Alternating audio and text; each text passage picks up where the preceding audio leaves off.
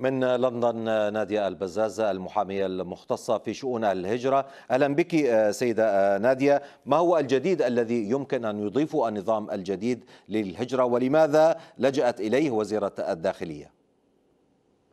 نعم آه هذا النظام هو نظام آه تدقيق آه ملف الشخص وسوابقه الإجرامية خصوصا يعني يشبه النظام الأمريكي اللي أستا اللي انطرح بعد أحداث 11 من سبتمبر. وأيضا النظام الأوروبي المطروح والمتوقع أنه ينطرح في الساحة في 2022 أو السنة القادمة.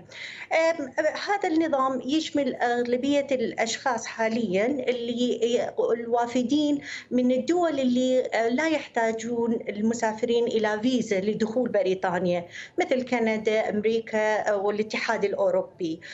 أنه بملء استمارة على أونلاين ومن ثم يذكرون سوابقهم ويعطون أيضا معلومات عن سبب القدوم إلى بريطانيا. وأيضا إنه يعني إذا كان عدد المرات والهدف والمكان وال نعم. هذا هذا واضح. ولكن سيدة نادية هل يمنع هذا القانون الجديد المجرمين من دخول البلاد أم هو ينقص عدد اللاجئين؟ نعم هو الاثنين مع بعض. يعني اولا حيعمل شيء تدقيق لملف الأشخاص اللي واصلين بدون فيزا.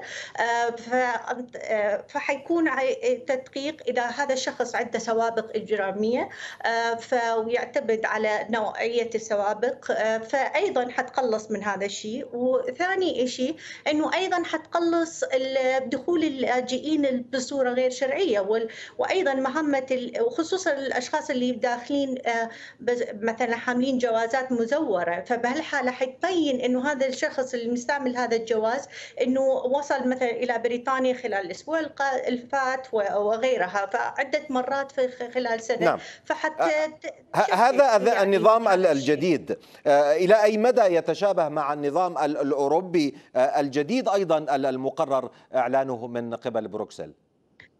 هو تقريبا نفس النظام بس يعني بسيط أشياء مختلفة. يعني الفرق الأساس والنظام هو نفسه بس الرسوم المتوقع إنه النظام البريطاني حيكون تسع باونات للشخص بس الأوروبي متوقع إنه يكون ست باونات.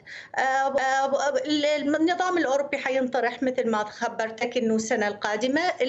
النظام البريطاني لحد ما يتم مرحلة التحويل مباشرة احتمال متوقع إلى 2025 نعم هذا النظام الذي ربما يعتمد على النقاط وعلى مسألة المهارات الخاصة ومزيد من المهارات المطلوبة. إلى أي درجة يطرح عملية يعني نحن أمام انتقائية في قبول اللاجئين وأيضا المهاجرين؟ نعم بالنسبة هو النظام النقاط موجود سابقا وليس جديد بل بل صار بالنسبة للوافدين اللي كانوا الطلاب أو أو العاملين اللي حابين إنه يهاجرون أو حتى المستثمرين بس سهلت من ناحية كثيرة وزارة الداخلية بعد خروجنا نعم. من الاتحاد الأوروبي لأنه نظام النقاط هسه صار يشمل وصلت الفكرة انتهى وقتي. تماما السيدة نادية البزازة المحامية المختصة بشؤون الهجرة. كنت معنا من لندن. شكرا جزيلا لك.